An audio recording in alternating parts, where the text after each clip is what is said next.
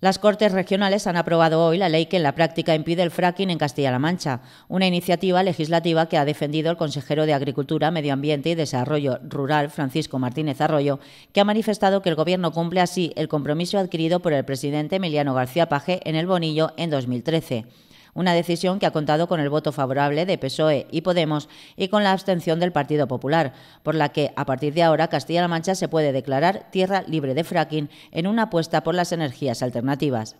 Durante su intervención, Martínez Arroyo ha señalado que el Gobierno de Castilla-La Mancha ha antepuesto la prudencia frente a la temeridad. Asimismo, ha aseverado que esta es una ley a favor del medio ambiente, pero también a favor de la protección de la salud pública de los ciudadanos de Castilla-La Mancha y, sobre todo, ha hecho hincapié en que es una ley a favor del uso del agua para aquellos que en la región están todos los días generando riqueza, los agricultores y ganaderos.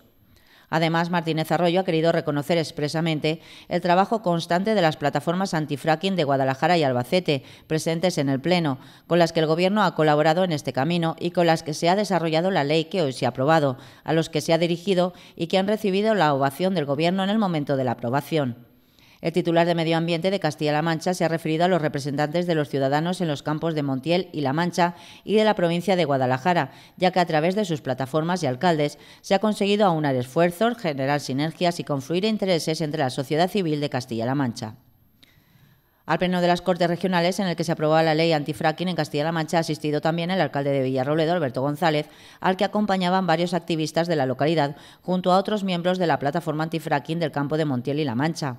El delegado de la Junta, Pedro Antonio Ruiz Santos, que también asistía a la sesión plenaria, ha afirmado que el presidente de Castilla-La Mancha, Emiliano García Paje, cumple, en relación a la aprobación hoy en las Cortes del proyecto de ley contra el fracking, un compromiso adquirido por el propio García Paje hace ahora tres años. Ruiz Santos ha asegurado que con el nuevo texto legislativo contra la fractura hidráulica será prácticamente imposible la práctica del fracking gracias a que el proyecto de ley estará acompañado de medidas adicionales que no permiten que la prioridad sea de carácter económico. Ruiz Santos ha agradecido al Gobierno regional que haya colaborado activamente con las plataformas antifracking de Albacete para materializar este proyecto de ley.